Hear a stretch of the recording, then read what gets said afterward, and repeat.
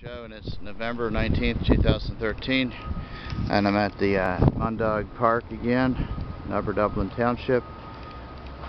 Yeah, most of the leaves have fallen off the trees here today. Um, I, I just got this new dog, Blackie I call him. He's just a foster dog for now. Um, my sister Ann runs a shuttle for the dogs from Delaware to the Philadelphia area. And uh, so they uh, they had leftover dogs. Someone wanted this one at the meet and greet last weekend. But uh, anyways they took it back because it's too young. Isn't housebroken yet? It's a uh, mixture dog. I think it's some kind of a border collie mixture very smart dog but it's uh, it's very young. It's been in a cage for seven months.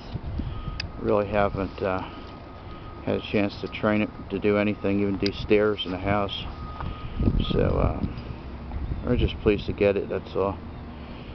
Know, we're, we're going to hold on to it for at least a week until we can train it for a home. If someone wants it anyway. Have a nice day. Talk to you later.